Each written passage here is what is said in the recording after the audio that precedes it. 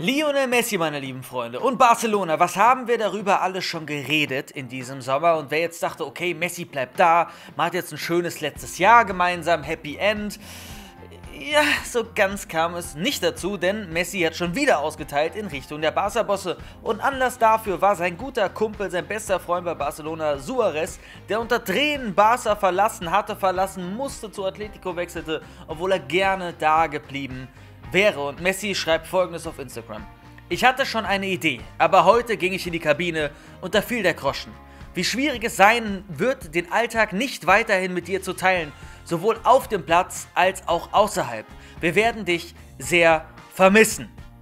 Es werde auch seltsam sein, gegen ihn zu spielen, ja, und ihn in einem anderen Trikot zu sehen, sagte er. Er hat weiter gesagt, Du hättest es verdient, als das verabschiedet zu werden, was du bist. Einer der wichtigsten Spieler in der Geschichte des Clubs, der sowohl in der Mannschaft als auch als Spieler wichtige Dinge erreicht hat. Und nicht so rausbefördert zu werden, wie sie es getan haben. Aber die Wahrheit ist, dass mich an diesem Punkt gar nichts mehr überrascht.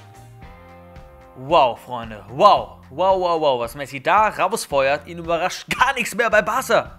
Was ist los aus Messi und Barcelona? Eins die Traumehe.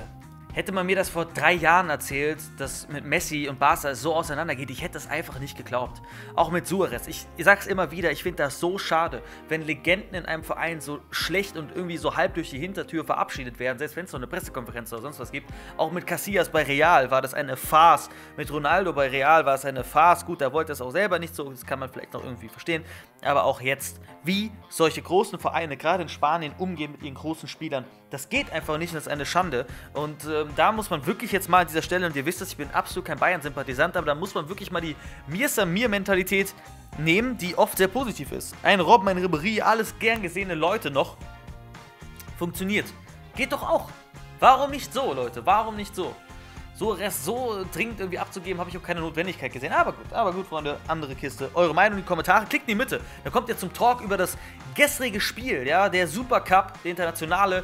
Bayern gegen Sevilla. Unsere Meinung, klickt in die Mitte, gönnt euch das nochmal. Wir sehen später wieder und denkt, rettet den Ball richtig flach.